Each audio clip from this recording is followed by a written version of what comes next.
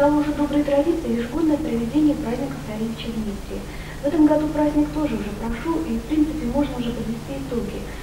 Каковы же итоги? Удался праздник или над чем-то еще придется поработать? Вот э, как вы считаете? Но также доброй традицией стало обсуждение каждого проведенного праздника в нашем городе со всеми, кто принимал участие в подготовке и проведении. И вот в очередной раз мы собрались и обсудили все наши проблемы и вопросы, связанные с подготовкой и проведением. И судя по многочисленным отзывам наших уплечан и гостей города, а их оказалось очень много на нашем празднике, несмотря на плохую погоду, праздник удался. По большому счету, поскольку мы сегодня опираемся на отзывы э, пресс-службы, которые были у нас из Москвы, из Санкт-Петербурга, Ярославля, гостей из Тулы, Галича, Костромы, Пушкина и многих других городов Ярославской области. Ну и еще раз обращаясь к истории, предыстории этого праздника. Вот почему-то ни у кого из гостей не появилось вопроса, почему же в день гибели царевича Дмитрия мы проводим этот светлый, радостный детский праздник. Да, наверное, потому, что мы э, подарили всем приглашение, всем участникам, вернее, нашим гостям, где очень четко э, две странички отображают как раз историю этого праздника которые... Это уже было продумано. Это уже да. было продумано. И каждый, кто познакомился с этим, вопросов больше не возникало. Праздник этот, оказывается, уже начали праздновать в XIX веке. И он уже тогда отличался особенной, особой красочностью, торжественностью, каким-то особым духом. И не случайно в день гибели царевича Дмитрия, поскольку э, с именем царевича Дмитрия, с его мощами связано очень много святостей. И он причислен к лику святых. И свою небесную радость, как святой ребенок, непорочный, он передает детям, пришедшим на этот день почтить его память. Ну и практически память царевича Дмитрия почитается в самом первом изначальном моменте нашего праздника, это православной службы в Спасо-Преображенском соборе. То есть эти традиции, которые существовали много лет назад, мы их только сегодня возрождаем. В этом году э, в праздничной службе принимали участие, вернее, вели службу у нас два владыки. Владыка Ярославский Ростовский, архиепископ Михей, и владыка Переславский, епископ Анатолий. Но я думаю, что это придало особую какую-то значимость и самой службе, и крестному ходу, который последовал после службы. Мы очень внимательно смотрели эти события уже второй год. И видим, что не достает нам духовного начала этого праздника. То есть даже вот судя по фотографиям, которые мы сейчас вот видим уже с праздника, мы четко ощущаем крестный ход, служба в соборе, это люди старшего поколения. А уже светская часть праздника, вот это детский, только дети. Хотя царевич Дмитрий, он покровитель детей. Вроде бы, казалось, детям можно было и участвовать и в крестном ходе, и на службе, да? Безусловно. Но мне кажется, более широко надо смотреть этот вопрос, поскольку традиционно в празднике принимали участие и дети, и родители. Как вот здесь вот пишется, что дети с матерями, кормилицами, няньками все высыпали на центральную площадь города. Веселились, танцевали, играли и одаривались сладкими презентами и подарками. И поэтому очень хотелось бы, чтобы вот эта преемственность и семейственность существовала и в первой части, которая дает особый дух этому празднику, и в последующих программах. Я думаю, что мы это все учтем. Очень большая программа, вернее, большая работа предшествовала подготовке этого праздника. И я очень счастлива, что приняли участие в подготовке очень активная Дворец культуры. И думаю, что они со своей задачей справились просто блестяще. Наталья Аркадьевна, думаю, что очень подробно сама расскажет, поскольку ей пришлось изначально начинать готовить этот праздник в этом году. Наталья Аркадьевна была член оргкомитета, да, вот непосредственно принимала участие? Да, мы постоянно обсуждали, буквально каждую пятницу мы встречались и обсуждали все вопросы, связанные с подготовкой этого Дня Царевича. К празднику мы действительно начали готовиться задолго, начиная с февраля месяца. И угличанам должно быть известно, что такой детский православный праздник проводится только в нашем городе. И День царевича Дмитрия должен нести, а я думаю, что уже и несет, всем детям нашего города, и не только нашего города, а всем гостям, которые побывали на празднике, которых оказалось в этом году очень много, более 300 человек, несет свет, тепло и добро. И в то же время, я так считаю, что каждого взрослого человека заставляет задуматься над тем, а все ли мы, взрослые, делаем для того, чтобы помочь всем детям, обиженным, обездоленным, больным, каких я, которых я считаю, что в нашем городе предостаточно. И вот э, в плане подготовки, с этой целью, в плане подготовки к празднику, мы решили организовать круглый стол, на который пригласили всех преподавателей истории, а также отца Николая, э, настоятеля церкви царевича Дмитрия Наполи. Вот с какой целью мы это сделали? Мы хотели через, препод... через преподавателей донести до каждого ребенка вот эту вот мысль, что царевич Дмитрий есть э, святой, есть покровитель всех больных детей. А также, также донести до каждого ребенка, что надо творить добро, начиная вот с такого маленького человечка. Вот. И такую мысль, я думаю, что мы заложили начало нашему большому делу. Конечно, все сразу решить одним круглым столом, я думаю, что это мы еще все эти проблемы полностью не решили, но зернышко заложили. И думаю, что мы будем это продолжать, эту традицию. Одновременно с подготовкой к круглому столу мы начали подготовку и к светской части детского праздника. Детский праздник мы назвали так «Всем на радость, нам на потеху». И вот в плане э, подготовки к празднику мы, значит, постарались что сделать? Во-первых, приблизить проведение этого праздника к проведению праздников в старину. Наши русские хороводы переплелись с народными играми и танцами. Ребят развлекали любимые персонажи это веселые скоморохи и забавные бабки и юшки. Ну, а кто нам в этом помогал? Вот сейчас Лена Готфридовна продолжит мою мысль, а потом я вернусь еще к празднику. Хотелось бы сказать, что этот праздник не был бы организован, если бы нам не помогали организаторы Дома творчества, Дома учителя, подросткового клуба. Огромное спасибо организаторам Ирине Игоревне Бабейко, Елене Николаевне Брядовой, Ирине Юрьевне Козловой. Только благодаря им, вот с их помощью, мы очень много собирались, решали, какие народные танцы, игры можно вплести вот в нашу программу, чтобы она действительно получилась такой вот народной.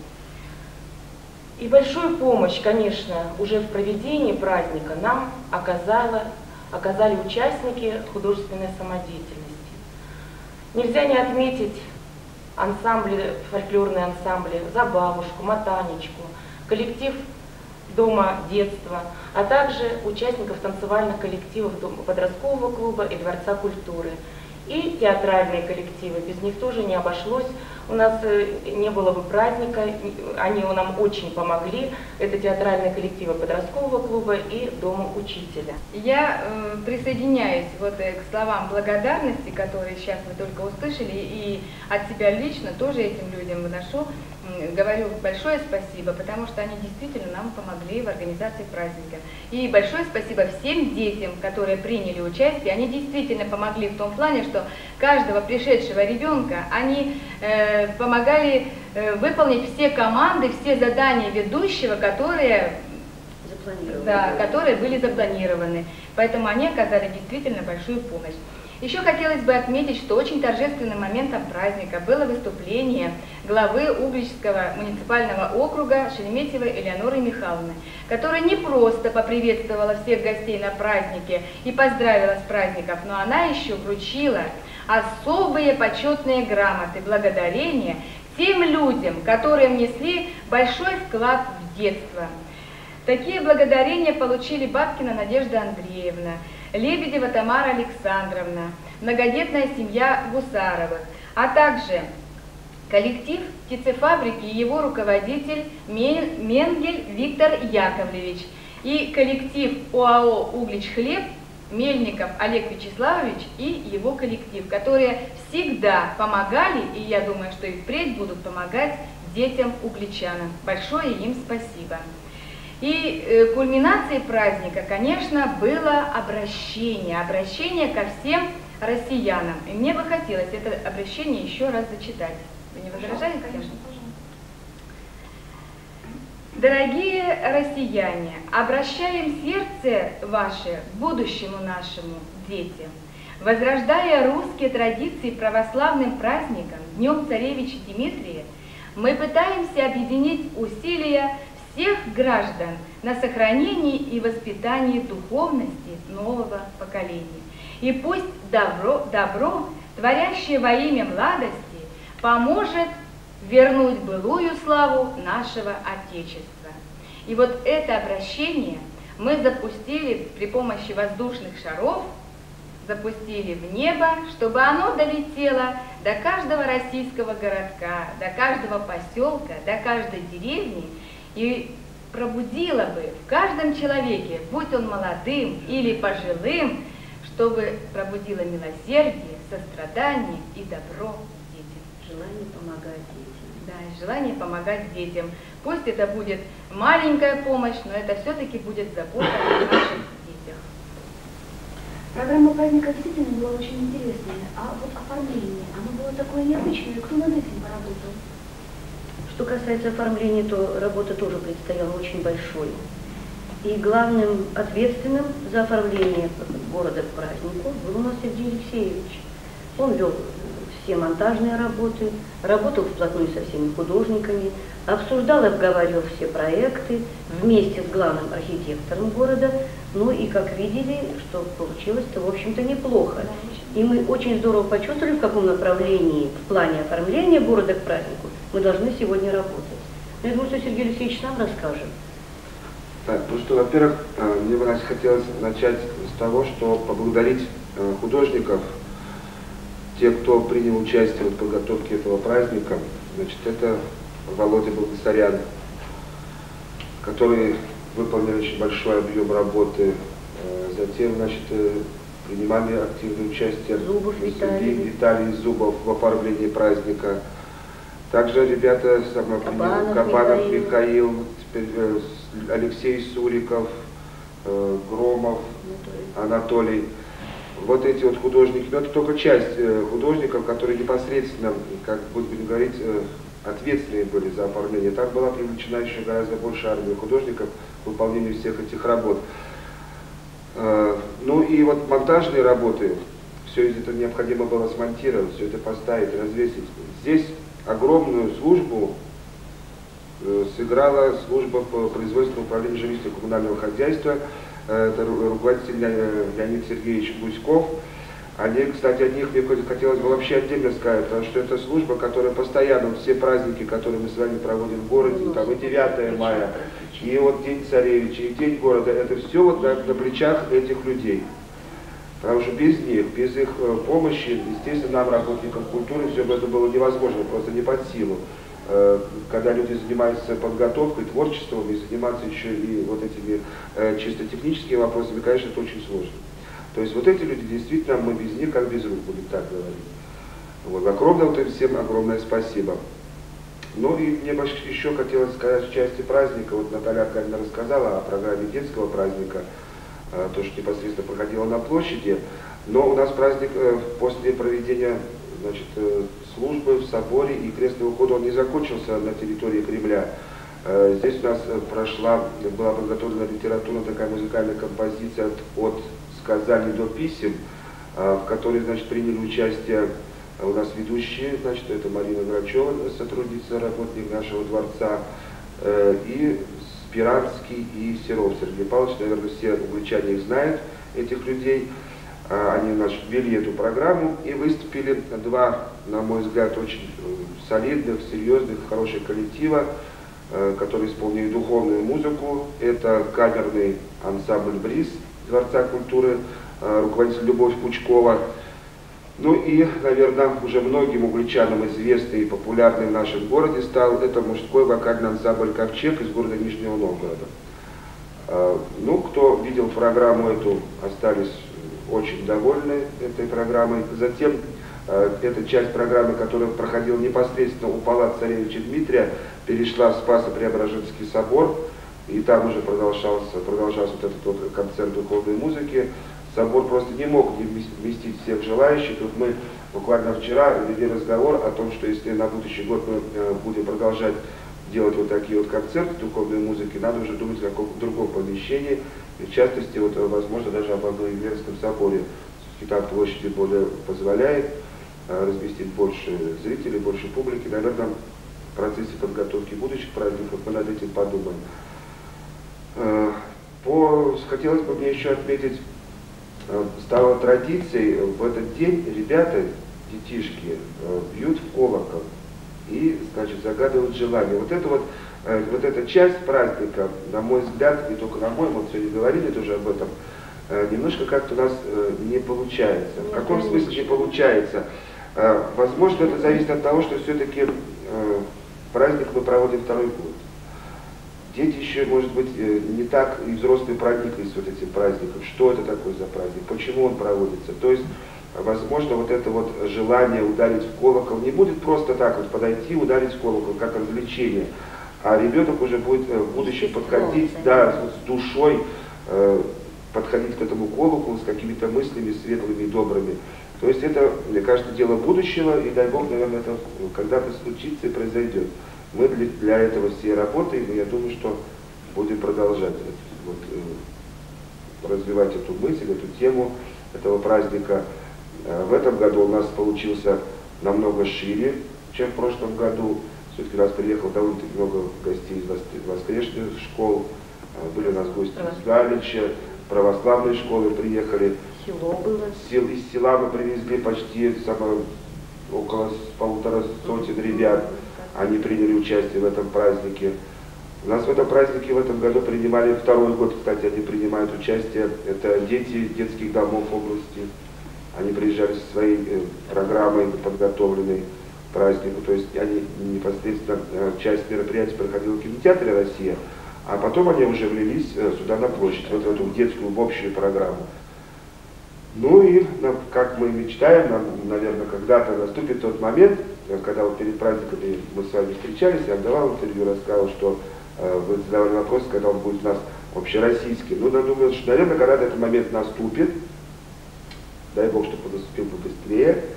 Вот. Ну и что мне в заключение так сказать, хотелось сказать, что э, вот э, мне хотелось поблагодарить всех работников, не только кто вот сегодня здесь сидит, у нас работники дворца, Здесь были задействованы работники дворца практически все, и технический персонал здесь работал на этот праздник. То есть это огромная армия людей, а, которая не видна на сцене, которая не видна, к сожалению, в камере, на экране телевизора, но эти люди вносят огромный вклад в подготовку всех этих праздников. Мне бы хотелось сегодня сказать им огромное всем спасибо.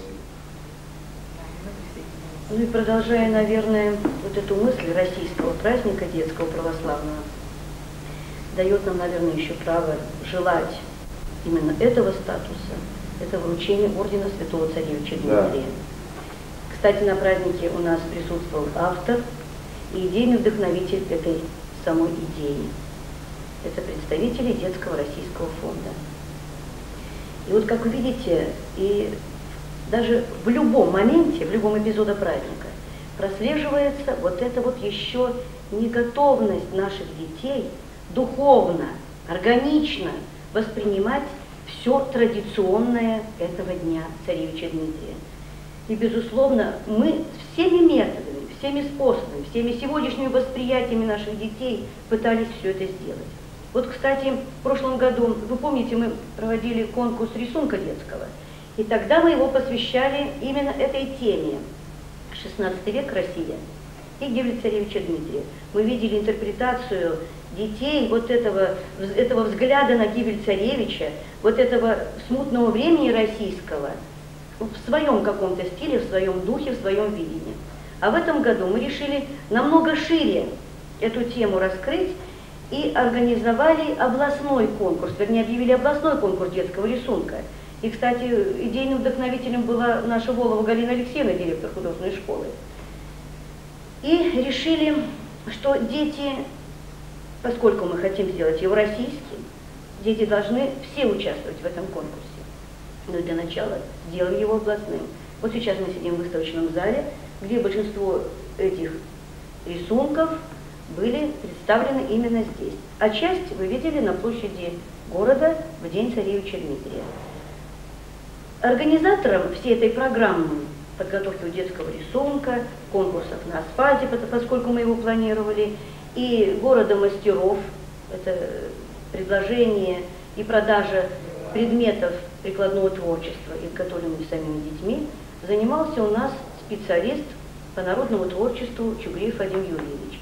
Конечно, очень много ему досталось, поскольку он у нас только начинает работать, но я считаю, что он со своей задачей справился так же блестяще.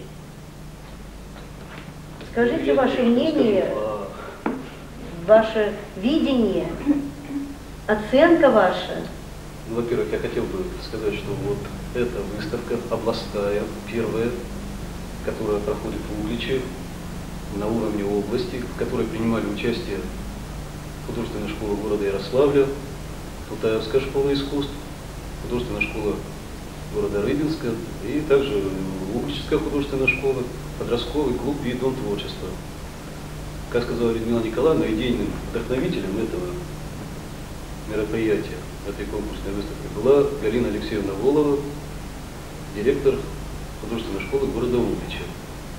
И в частности, она и сотрудники детской художественной школы принимали самое непосредственное участие в организации и подготовке этой выставки, которая прошла с немалым успехом. И особенно отрадно осознавать то, что победителями и лауреатами этой выставки стали многие дети города Углича. Я даже могу назвать по. Это э, Петрова Аня из детской художественной школы. Она стала лауреатом, и кроме того лауреатом стала Лена Соболева, также из детской художественной школы. И еще две юные художницы из нашего города стали не лауреатами, а победителями. Призерами это Лена Логинова из детской же художественной школы и Образцова Юля из подросткового клуба. Ну и кроме того, дипломантами стали две девочки из Рыбинска и четыре дипломанта из города Ярославля. Вадим Юрьевич, вы общались с участниками выставки. Те, кто приехал к нам из Ярославля, Тутаева, Рыбинска. Каково их мнение об этой выставке, об этом конкурсе и вот видение праздника, их оценка? Они тоже участвовали? Они тоже были участниками да. праздника. Впечатления были, по-моему, очень, очень самые неплохие, потому что заинтересованных людей и зрителей было ну, огромное количество. Невзирая на погоду, с погодой, к сожалению, нам не повезло. Зрителей было очень много, причем уровень работ был настолько высок, что, в общем-то, это всех приятно удивило. Кстати, это озадачило и членов жюри, которые пытались из лучших выбрать лучших. Общем-то, со своей задачей справились. Голову пришлось поломать. Победители есть. Победители. Тем приятнее, что это победители нашего города.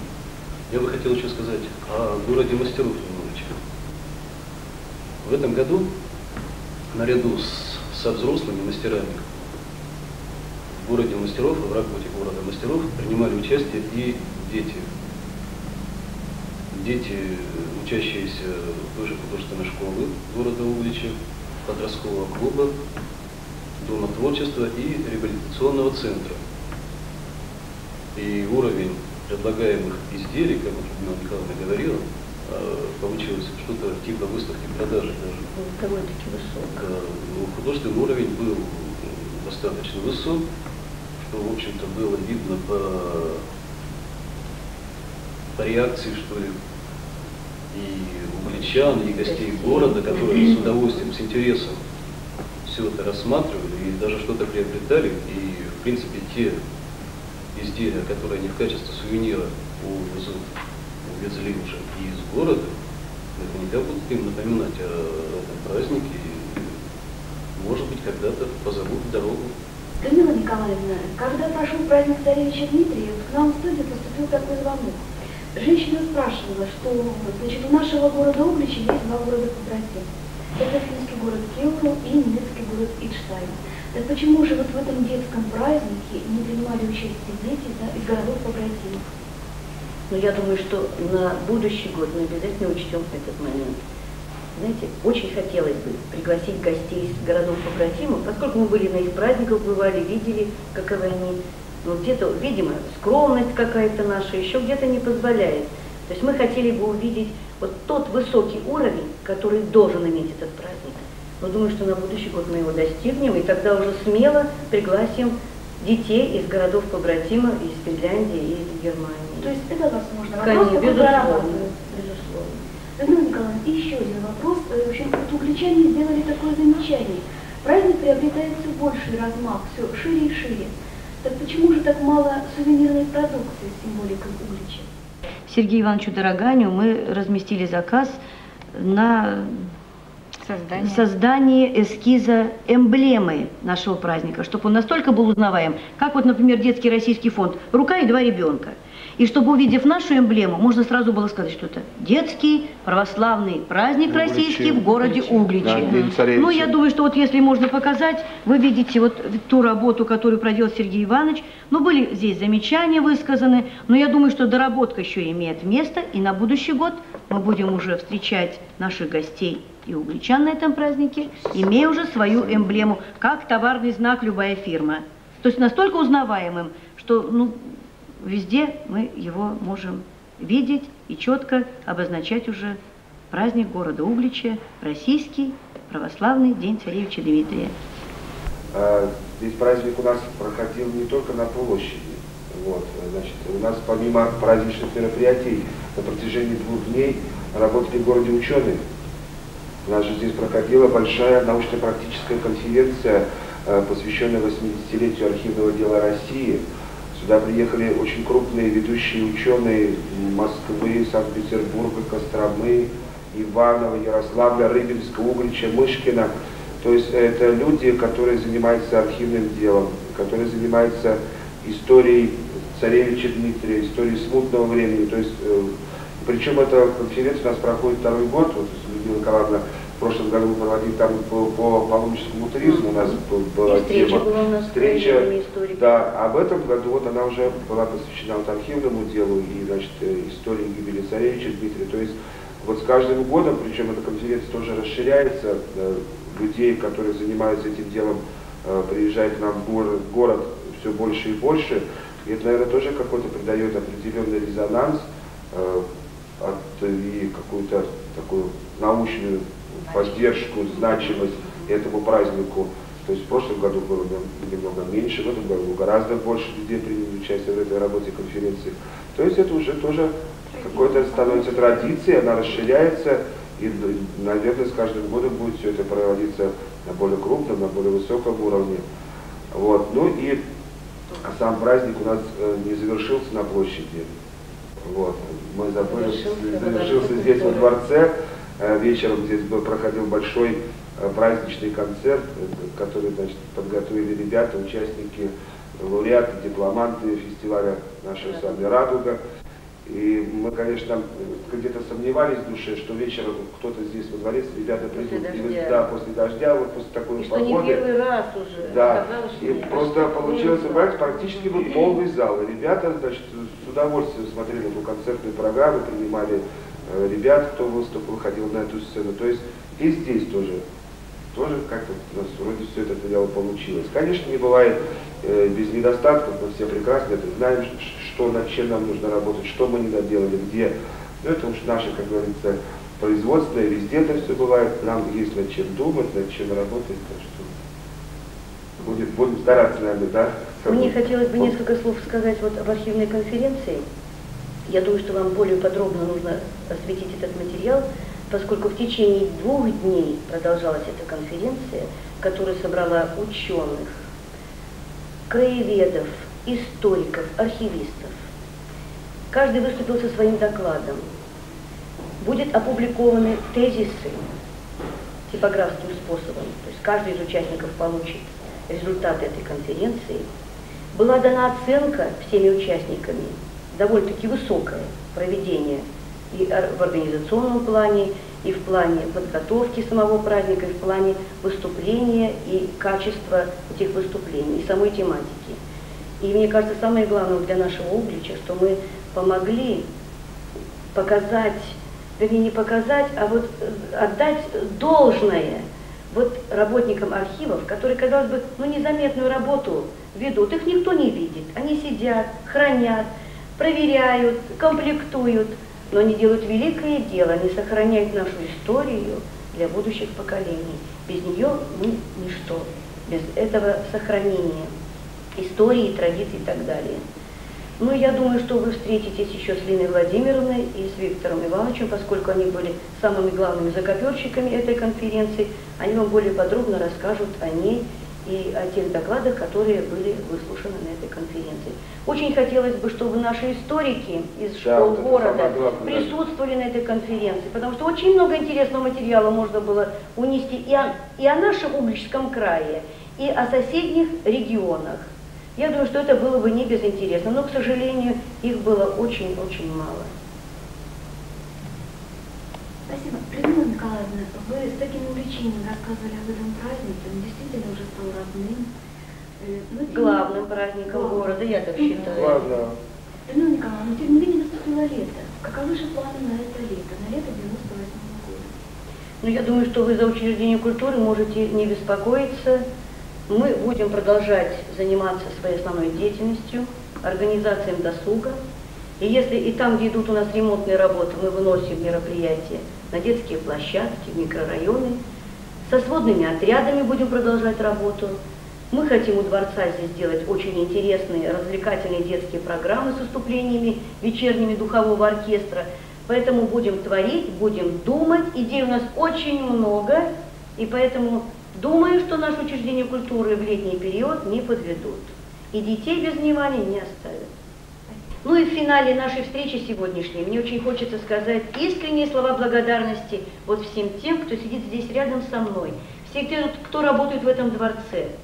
И я честно могу сказать, что с приобретением Дворца культуры в качестве базового мы получили огромный арсенал творческих идей, мыслей, творений, высокой ответственности, чувства долга – без такой армии прекрасных специалистов, мне кажется, нам бы не справиться. А с ними можно делать и более интересные мероприятия. Спасибо вам.